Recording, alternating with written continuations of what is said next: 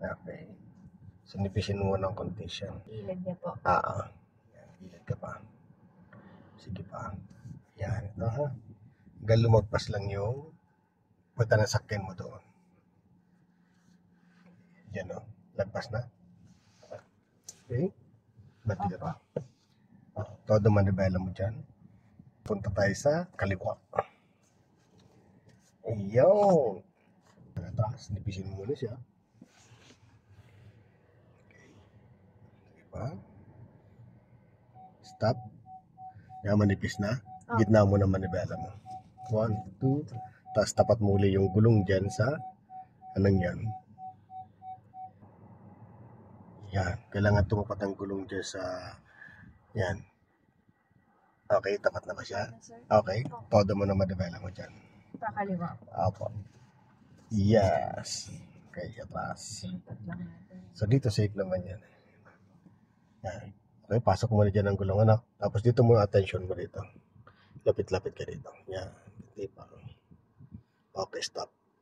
Todo manibela mo dito. Kanan. Yan. Yan, lalagay sa drive. Angat lang natin konti. Good. Di pa. Good. Di pa. Stop. Then, todo dyan manibela ulit. Hanggang lumabas lang yung reference dito isa. Yun. Ito. Pag hindi pa rin, babalik ka ulit. Kanti pa pa. Ito pa. Maski pa rin. Ah, stop. Punta ko ulit doon. Yes. Abante. Very good. Kanti pa. Stop. Then, sagad ka ulit dyan. Atras. Ayun.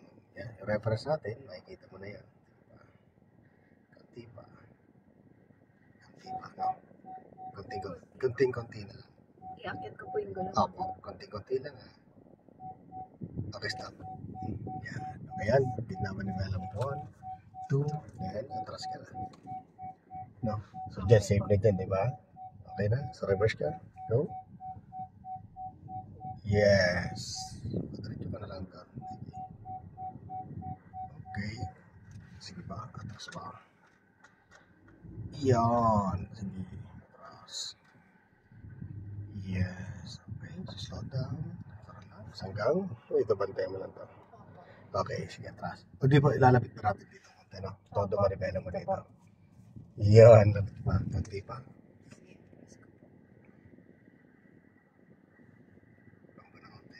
Okay, stop. Gitna.